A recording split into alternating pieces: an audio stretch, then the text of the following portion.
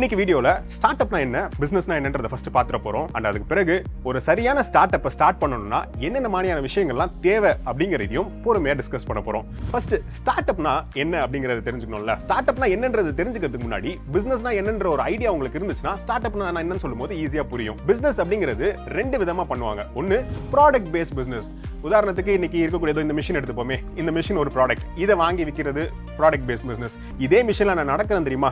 இப்படி நான் நடக்கிறதுக்கு எனக்கு சொல்லி கொடுக்குறாங்கல்ல ஒருத்தர். அவருடைய நேரத்தை செலவு பண்ணி எனக்கு ஒரு சர்வீஸ் பண்ணுறாருல இது சர்வீஸ் பேஸ்ட் பிஸ்னஸ் இந்த ரெண்டு விதமான பிஸ்னஸஸ் தான் வந்து பிஸ்னஸ் வேர்ல்டில் இருக்குது இது இல்லாமல் ஸ்டார்ட் அப்னா என்ன அப்படின்னு கேட்டிங்கன்னா இதுவும் ஒரு விதமான பிஸ்னஸ் தான்.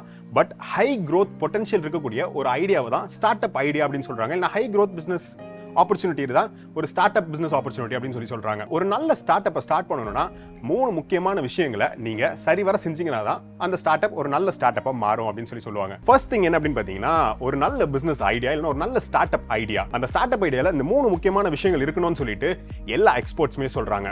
அதுல first thing ideal customer profile customer தான் கிங் அப்படின்னு சொல்லி சொல்லி கேள்விப்பட்டிருப்பீங்களா அந்த கஸ்டமர் யாரு அப்படிங்கிறத தெரிஞ்சு வச்சுக்கணும் அப்படின்னு சொல்லி சொல்றாங்க.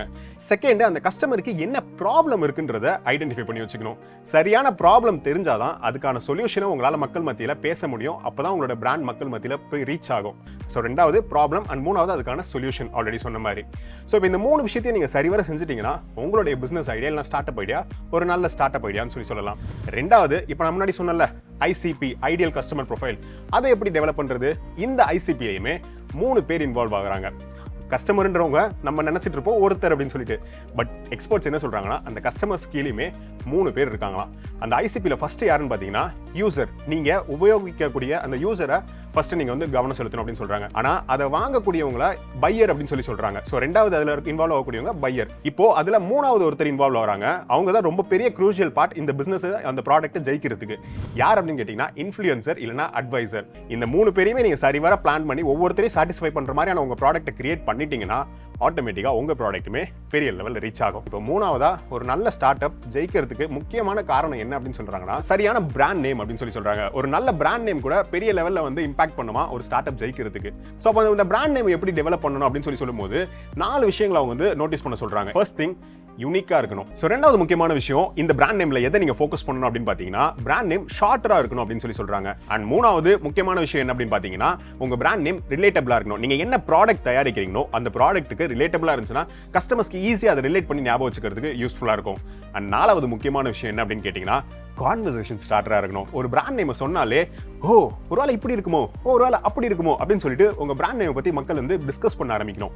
அண்ட் இதுதான் மூணு முக்கியமான விஷயங்கள். நீங்க உங்க ஸ்டார்ட் அப்பை பில்ட் பண்ணுறதுக்கு முன்னாடி ஃபோக்கஸ் பண்ண வேண்டியது. ஹோப் இந்த வீடியோ உங்களுக்கு ரொம்பவே பயனுள்ள வீடியோவாக இருந்திருக்கும்னு நினைக்கிறேன். நாளைக்கு இன்னொரு சூப்பரான எக்ஸைட்டிங்கான பிசினஸ் அண்ட் ஃபினான்ஸ் வீடியோட உங்களை வந்து சந்திக்கிறேன். அது வரைக்கும் stay tune tata bye business பண்றதுல இருக்க எல்லா நுணுக்கங்களையும் பட்டியல் போட்டு ட்ரெட்மில்லையே சொல்லித்தர. ஓடி ஓடி உழைக்கணும். இதன் முழு வீடியோவை பிஎஸ் வேல்யூ ஓடிடி ஆப்பில் கண்டு மகிழுங்கள். பிளாக் ஷேப்ஸ் எக்ஸ்பிரஸ் மார்னிங் திங்கள் முதல் சனி வரை காலை ஏழு மணிக்கு உங்கள் சித்திரம் டிவி மற்றும் பிஎஸ் வேல்யூ ஓடிடி ஆப்பில்